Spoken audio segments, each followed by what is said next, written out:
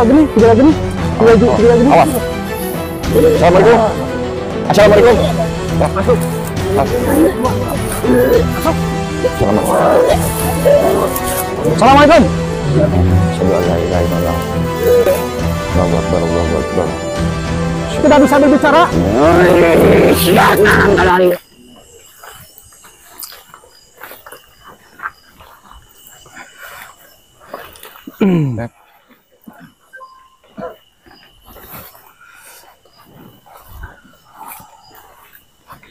Assalamualaikum warahmatullahi taala wabarakatuh. Waalaikumsalam warahmatullahi wabarakatuh. Ketemu lagi dengan channel Mata Gaib ya bisa. Alhamdulillah wa syukurillah. Hmm, saya diberi kesehatan eh, sama rekan-rekan kita di sini ya. Dan saya di sini ditemani sama eh, Ki Edan sama si Raksa Dewa dan eh, warga sekitar sini dan saya akan bertanya ini eh, kepada warga di sini ini apa yang pernah ada kejadian aneh nggak di sini? Ini dengan siapa ini? Rahmat. Dengan Rahmat itu ah, dengan Denny. Eh, Teteh? Ayu. Ayu. Boleh Teh Ayu di sini. Kita eh, berbincang-bincang dulu ya mereka ya. Eh, sebelum eh, apa eh, kita menelusuri lebih dalam lagi ya mereka saya bertanya Mak Ayu ya sini. Ayu pernah mikrofonnya coba satu. eh, dekat. pernah nggak di sini eh, apa mendengar suara-suara aneh atau ada melihat gangguan-gangguan yang seperti apa gitu?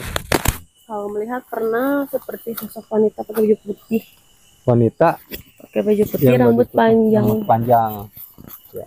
tapi lokasinya di di, di hutan ini Ya, di Wah, pohon. di, di, di, di sana waktu itu eh, mungkin eh, sosok itu eh, pernah terlihat apa ada interaksi nggak ke badan Ayu Cuman lihat lihat doang kalau gitu. interaksi pernah, Pernah. tapi saya nggak sadar dan Sadar.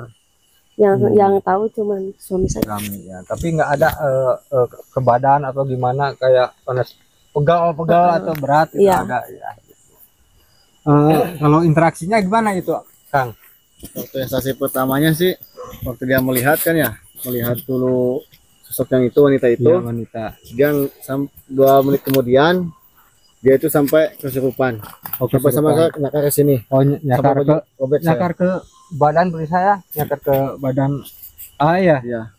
itu eh, cukup lama itu kesurupannya atau? Lama. lama ya.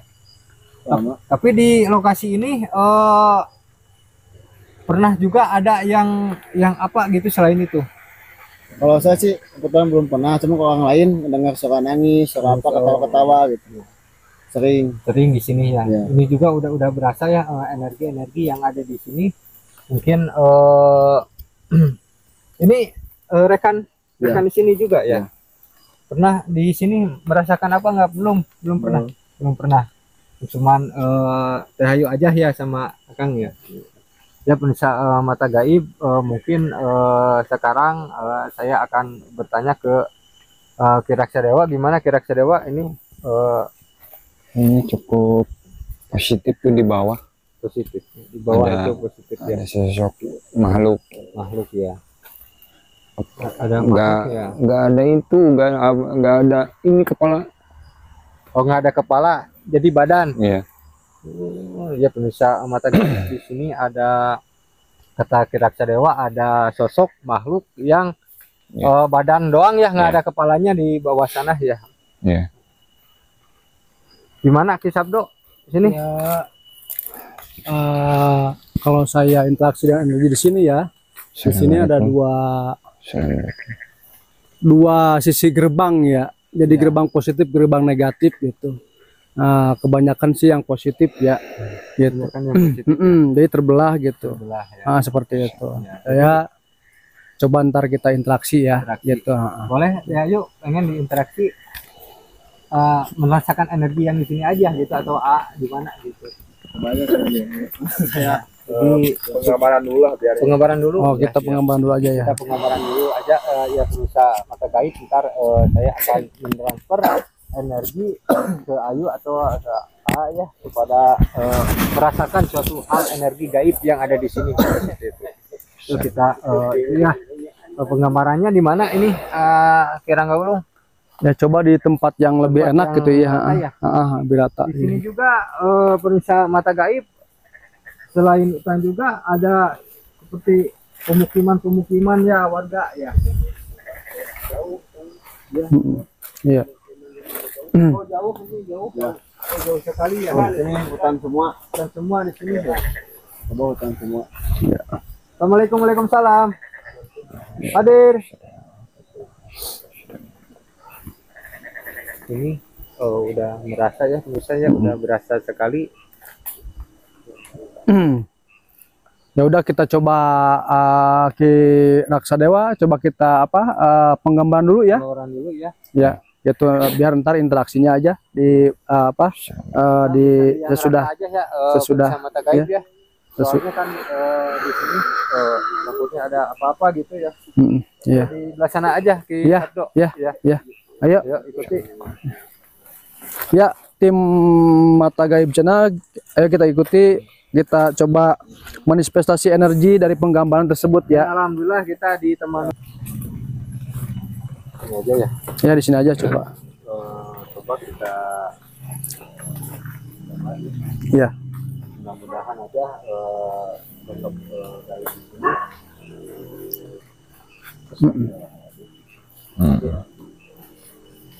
ada itu Allah. Sosok perempuan yang tadi ya, Ya betul yang perempuan yang tadi diceritakan Malia udah datang ya. ya. Dia mungkin eh, dia seperti itu noni Belanda Mm. yang dibuang di sini mungkin. Dulunya. Kita akan coba eh, gambarkan ya dia dia Ya. begitu ya. Mm. Hmm. Ini mau bagaimana ini posisinya? Posisinya kita Ya. Begitu aja aja ya. Itu aja ya. Iya. Ya, coba. Di Sabdo mau kalian menggambar Enggak, coba saya coba interaksi aja lah ya kan gitu. Ya, Gitu. kita coba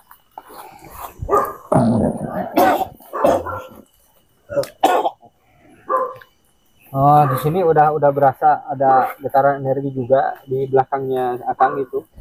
Hati-hati. Bismillahirrahmanirrahim. Sukma bu. Bismillahirrahmanirrahim.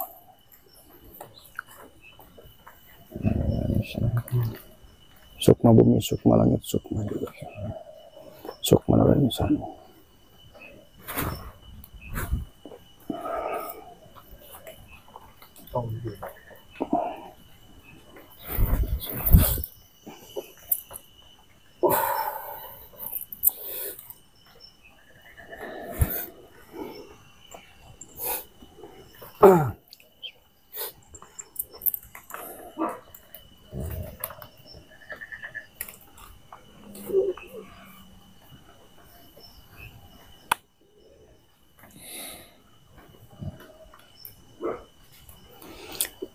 Ya, pemirsa mat, eh, mata gaib channel eh, Ki Jaga Geni lagi proses manifestasi perwujudan dari sebuah lukisan ya.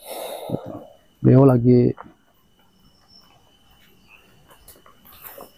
coba melukis ya dari hasil manifestasi energi yang tadi diceritakan oleh Mbak Ayu ya. Gitu, sosok perempuan yang memang eh, di sini perlu kita doakan lah ya gitu. Seperti itu. Karena di sebelah sana itu kita juga udah bermunculan lah ya. Sosok asta-asta yang bermanifestasi dari suatu energi gitu. perwujudannya seperti itu. Ini lagi divisualisasikan lewat eh, lewat penggambaran seperti yang memang mukanya itu ya kalau menurut saya tuh sangat jelek sekali gitu. Itu ntar eh, kita coba tunggu selesai prosesnya pelukisan dari Ki Jaga Geni tersebut. Coba simak sekali. Dan itu memang sangat luar biasa. Ininya tuh eh, panjang ya gitu panjang ininya sangat seram gitu kan gitu rambutnya panjang gitu nah beliau untuk mungkin minta didoakan lah ya kan gitu kita simak eh, tim mata gaib channel proses daripada manifestasi pewujudan sebuah lukisan dari Kijaga Uh,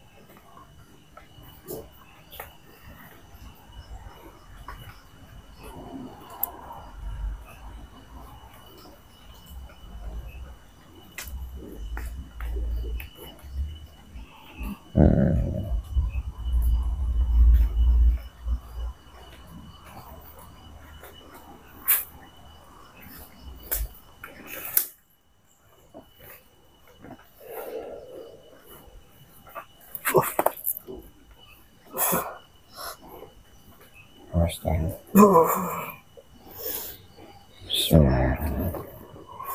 Coba bantu kali ya melukis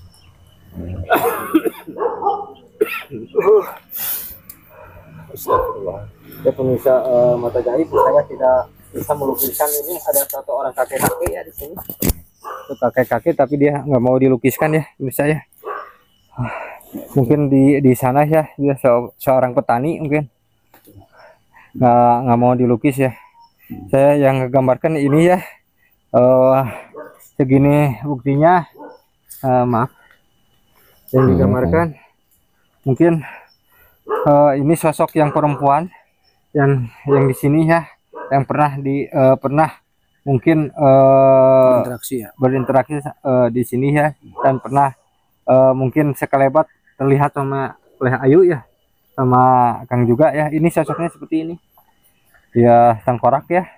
Ya rambutnya panjang dan ini ada satu gubuk di sini. Ada satu gubuk mungkin mungkin eh, agak jauh di sini dan cuman dia eh, ada ada ada satu hal yang ditirakati sama dia. Cuma ada ada tembus eh, ke sini dan di di sini dikelilingi sama ular ya. Dikelilingi sama ular ya.